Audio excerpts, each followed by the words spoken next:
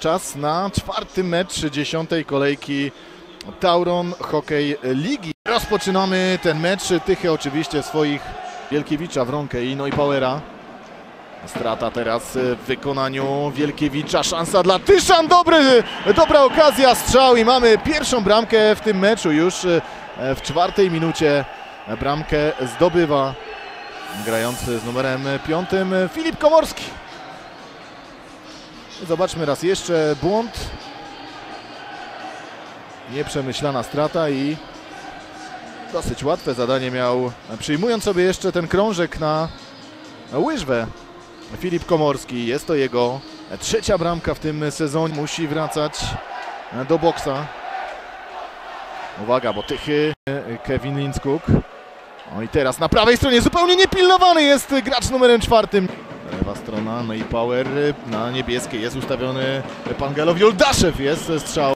Gracz Podhala, jeszcze szykują sobie pozycję do strzału. Załamaj, ależ źle to zrobił. Bramka ruszona. Dobrze przedłużył krążek, to będzie dobra szansa. Jeszcze strzał, ależ z kontratakiem Temar.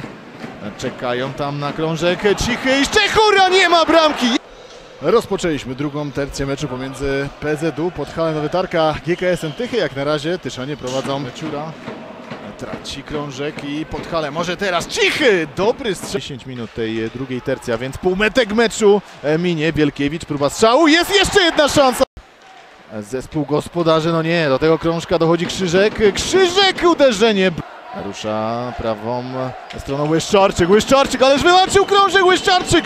Jeszcze Pan Gelof Juldaszek bardzo źle to zrobił, ale Tyszanie mają szansę i nie ma bramki. Bity ten krążek i łapie go jeszcze Wronka. E, ostatnia w zasadzie szansa, bo już wjeżdża Jeziorski. Wronka, e, Jan, e, pan Gelof Juldaszek i gol! Mamy wyrównanie, a więc jednak...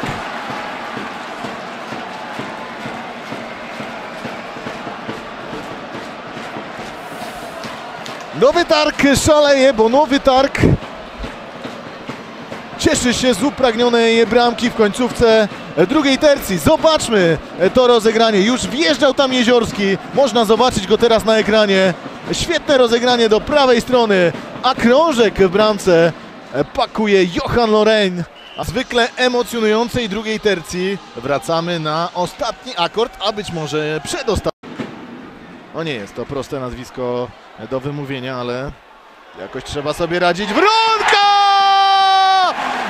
Ależ bramka Patryka Wronki! I to jest 2 do 1 dla drużyny Podhala Nowy Targ. Bardzo źle wychodzili Tyszanie ze swojej tercji, a Wronka wziął i zrobił to, co potrafi najlepiej. Po prostu uderzył z nadgarstka i pokonał tym samym Tomasza Fucika. No i wracamy do gry. 13 sekund pozostaje do końca jednej z podwójnej kary. Jest gol, jest bramka, więc dopięli swego Filip Komorski. Zdobywa swoją drugą bramkę w tym meczu na 7 sekund przed końcem kary Szlembarskiego. A więc udaje się Tyszanom doprowadzić do wyrównania na niecałe 12 minut przed końcem tego meczu. Na razie wszystko wskazuje na to, że będziemy mieli dogrywkę. Dał uderzenia na bramkę Linckuga. A teraz świetne wystawienie Padaki. No ależ gol, ależ bramka. 4 minuty 27 sekund do końca. Fenomenalny strzał w wykonaniu Pawła, Padakina. No i Tyszanie prowadzą 3 do 2 zespołem PZU Podhala Nowy Targ. Doskonałe zagranie z bramki. Znalazł gdzieś lukę ta ten krążek jeszcze odbił się chyba od poprzeczki.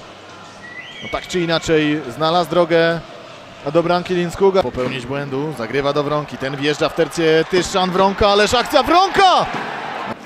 Teraz nie może skończyć się stratą Podhala. No i Power, ależ ryzykownie jest przejęcie krążka, pusta bramka i to jest gol numer 4 dla GKS-u Tychy, a więc Tyszanie już tego meczu nie przegrają, ale fatalny błąd popełnił Bartłomiej Neupauer podając ten krążek w sposób naprawdę katastrofalny.